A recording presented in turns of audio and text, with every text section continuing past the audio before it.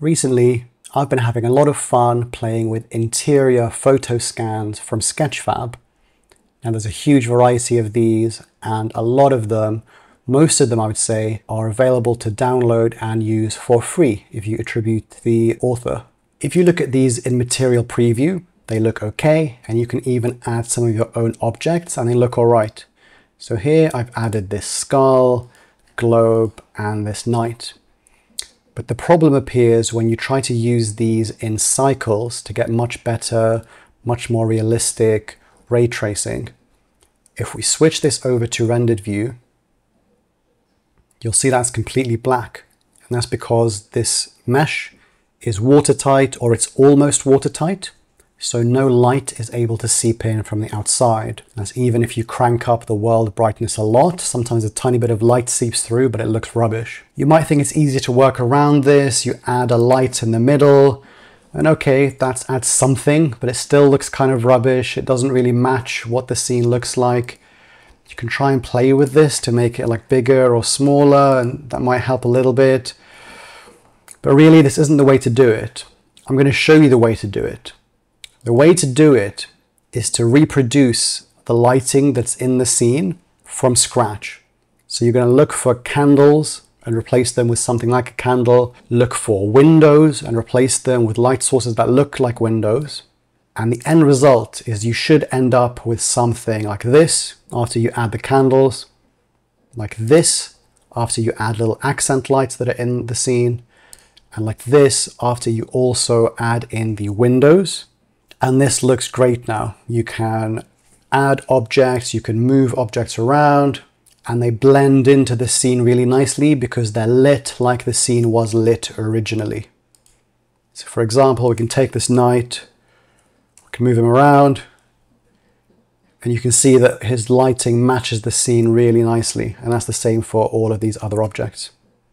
So the first thing we're going to do is get the Sketchfab plugin this makes it a lot easier to import Sketchfab models. Sometimes if they're weird formats and you import them into Blender, the textures might not be there natively, but the Sketchfab plugin makes that really easy. You just copy and paste the URL and you can import a scene and all the textures are there and ready to go. Once you have it, you're going to go into Material Preview because we want the materials to be there.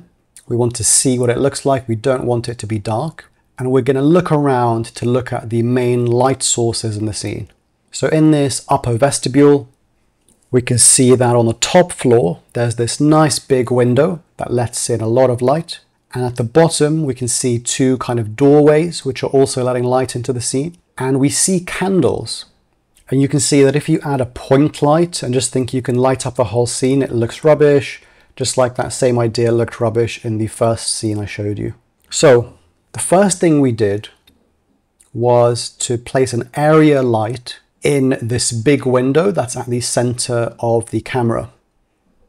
And then we place it in the center of the window. And then we change the shape from square to rectangle. And that allows the size to match the window really nicely. And then we're going to copy this light to any other window or any other light source that's going to look similar to this. So when I was making this, I thought that the two doorways that allow light to come in from the bottom, I thought those looked similar to this. And so instead of duplicating with Shift D, and then you have to change the settings every time, I duplicated using Alt D, which makes an instanced duplicate. And that means that later, if I want all the windows to be brighter, I just change the power once and then all the windows become brighter or I turn it down and they all become less bright. So here I'm just moving these area lights so that they match the location of the real light sources as closely as possible. And then as I'm adding these lights, I'm positioning them and I'm comparing the shadow that my fake light adds and I'm comparing that with the real shadow that's baked into the photo scan. And I'm trying to get them to match up really closely because if my shadows look like the photoscan shadows, then A, that's an indicator that the lighting matches really closely, and B, it's going to look better, it's going to look more realistic.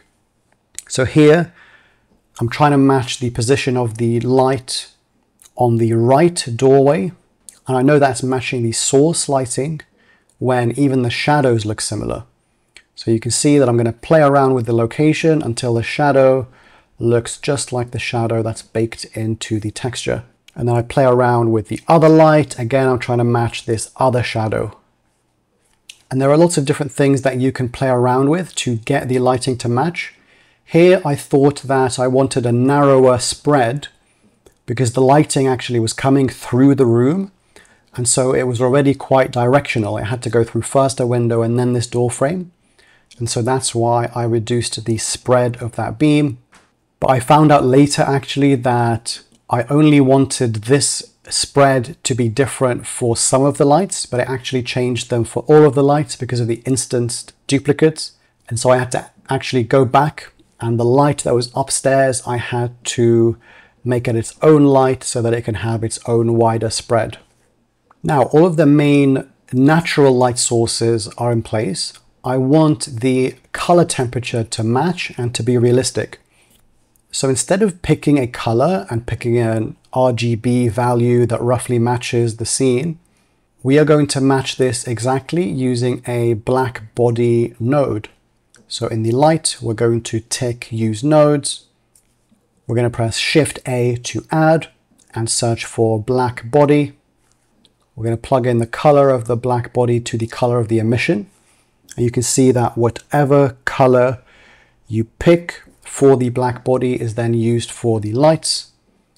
And this took me a bit of playing around with because I hadn't figured out that um, I had messed up the spread.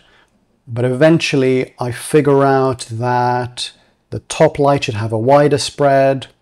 And as soon as I fix that, the color temperature looks much better. And now, I wasn't sure how important these candles were going to be, but I added them. And again, I used my Alt-D duplicate trick so that later I can change the temperature and the brightness of one candle and it affects all of them. And so I made all of the candles on the stairwell, top, middle, bottom, and then also in the chandelier hanging down from the top. And once that was all in place, I played around with some of the strengths of the candles until it matched the source as closely as I could. So yeah, I was happy with it here. And then now that you have this lighting matched, you might think, what's the point? Because all we've done is we've ended up at something that looks like the material preview. Well, no, you've ended up with something much better because now you can add other models to the scene. I'm going to add a sculpture and because the lighting matches, the object that you add is going to feel like it fits into the scene really nicely. So because we've done all this work, we can just import this model, again using the Sketchfab plugin. We're going to move it and scale it and rotate it. I'm going to place it at the top of the stairwell. I'm going to have to increase the size. And then you can see you end up with this scene that looks really natural. So you can almost feel this light coming in through that window. It looks appropriate to the scene because that's how it was lit in real life. And it casts light on this model that we've imported. So this bronze object at the top of the stairwell that's selected now is an entirely different model, but it looks like it was part of this scene because we've matched the lighting as best as we can. And then once I had it, I used this as an excuse to make a little demo for uh, Autofocus Pro.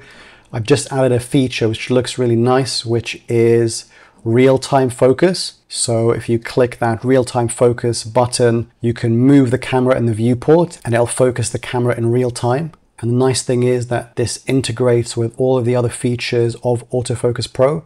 So if you're using a lens sim camera, it will focus your lens sim camera. It'll focus on whatever region you pick. It'll use the targeting strategy and all that good stuff. So yeah, a different kind of video today, but I hope that you found it helpful.